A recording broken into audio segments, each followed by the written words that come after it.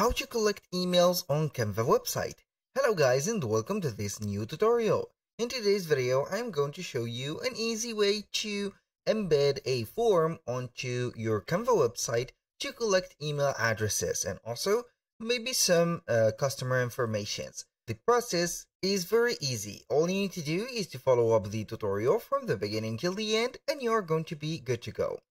The first thing that you need to do is to head over canva.com. Then what are we going to do is to select the website that we want to add the feature of the embedded uh, form to collect the emails and the information to. So what are we going to do is to click on the search bar at the top and type in website. If you have, uh, this is a web-based or website just like that. If you have a website already, go ahead and select your own website. If you do not want have a website and you want to create another website or a new one, go ahead and click on create blank website or you can choose from the, uh, let's say here, the templates that has been showing right there, the model that you want to work with. So basically I have already a website. I'm going to select it and then we are going to click on edit. It will open up right there the editor and uh, we need to make sure that the website is uh, published. As you can see if this as you can see here this bar or this header appear that means that your website is already online. So i'm going to click on edit.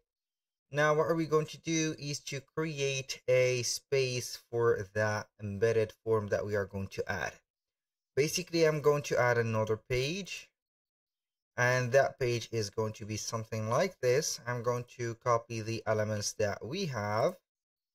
So I'm going to copy and paste them right there. So this I think that it is linked. Yes it is linked already. Now what are we going to do is to add a text a heading first. I'm going to put it in here change the color of it to white make sure that it is white. So we are going to attract the attention in all the red carpet color here. So let's see we are going to put here sign up for example sign up or subscribe subscribe for more let's say for more. So i'm going to put it as like this. So that means that this will contain a form to subscribe. And now what are we going to do is to visit a website called Jotform. So we are going to type in www.jotform.com. Then you are going to uh, create an account within the platform. Obviously, it is going to be free until you are going to exceed the uh, uh free number of uh, creating forms. Now, as you can see here, we have the dashboard and that dashboard is going to contain our form. So I'm going to click on create form and then we are going to see here we have the option to create a form from scratch. We have the option to use a template, import a form, or you can go ahead and create a signable document. So I'm going to uh, here use maybe a template. Let's see here. So we are going to search for the template. Here we have registration, so I think that we're going to use registration or sign up. Sign up forms. These are going to be these. Are so we are going to select sign up forms and you're going to see the different, as you can see, forms. We have some long forms and some short forms. Basically, I'm going to use not a long one because it is going to be boring to uh, navigate through we have some long and short forms. So we are going to choose the most convenient one for us. And I think that we got one. So basically I'm going to use the first one. Click on here, use template, and then we are going to wait for the editor to open up.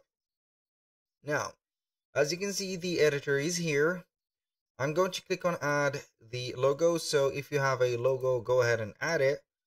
I'm going to add or select this, for example, as a logo. And then what are we going to do? We can customize the color of this, uh, as you can see, page and also the color form. So we have them, as you can see, like that. if you want to put a page image or a picture instead of a color go ahead and click on here upload your image and boom you can also put the font color the input background and etc now for the form as you can see we can go ahead and see the uh, here the forms. So you can see the properties of each one of the uh, things. So you can go ahead and see that we have this for example special uh, here uh, as you can see this name for example first name. So I'm going to modify here the as you can see the uh, name. So it is required. So let's see here if we can go ahead and modify this label.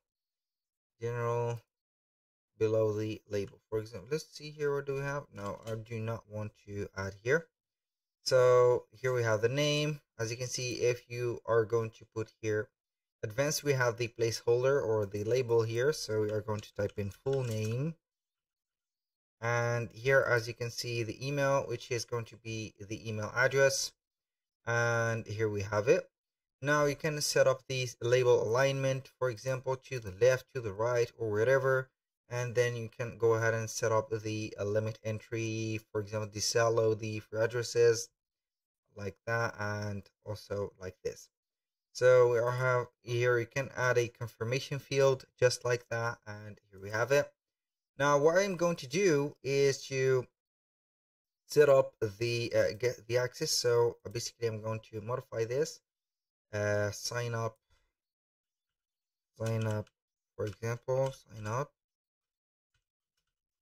like that. I'm going to put this button like this and I am going only to exit that now what I'm going to do is to head over the settings and see if we want to modify, for example, or add some conditions. The emails is going to be here, set up the email. So we have Jotform that will send the first notification to our address and the autoresponder is going to be from Jotform. That means that the confirmation is going to be from Jotform. Condition, the thank you page. As you can see here, we have the thank you page workflows and Jotform signs if you're going to add some signatures, mobile notification, and boom. Now, let's go ahead and head over the publish. Click on publish, and now what are we going to do is to have a link. Make sure that if you are going to add here a form, you need a link and not an embedded form. So we call it an embedded form, but we need only a shareable link and that is going to be a smart link. These type of links are going to be called smart links. If you have the coded or HTML code, it is not going to work on Canva. So now what are we going to do is to click on the, uh, as you can see, the page that we want to add that form. And normally we are going to click on apps here. I'm going to restore the process. Here you are going to click on apps on Canva on the uh, last, as you can see, uh, element on the search bar, we are going to type in embed and we are going to see some apps. The first one which is going to have the blue background and the play button. We're going to paste the link here. Click on Archie Design and watch the magic happen. Boom. This is the form. So what we're going to do is to wait for the form to uh, be set up just like that and what we're going to do is to make sure that we are going to stretch it. So i'm going to put the position of the text here at first just like that and make the form a little bit bigger.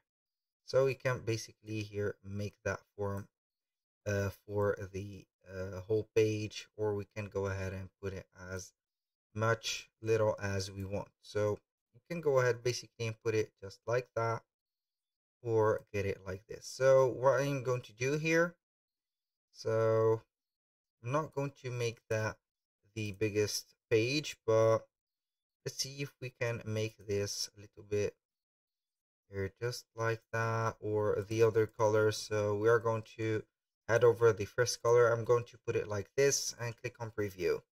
Now we are going to see the form and here we have it integrated as you can see.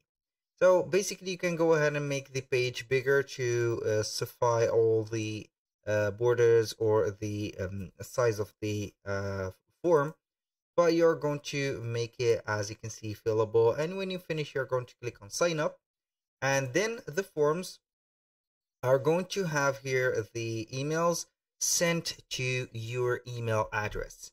So basically you are going to get all the email address to your email that has been set up on the settings. Here we have the emails. So the Jotform is going to be uh, sent to you and you're going to get everything. Basically that was all for today's video. Thank you guys for watching. I hope that you have enjoyed the content and hope to see you soon on the next one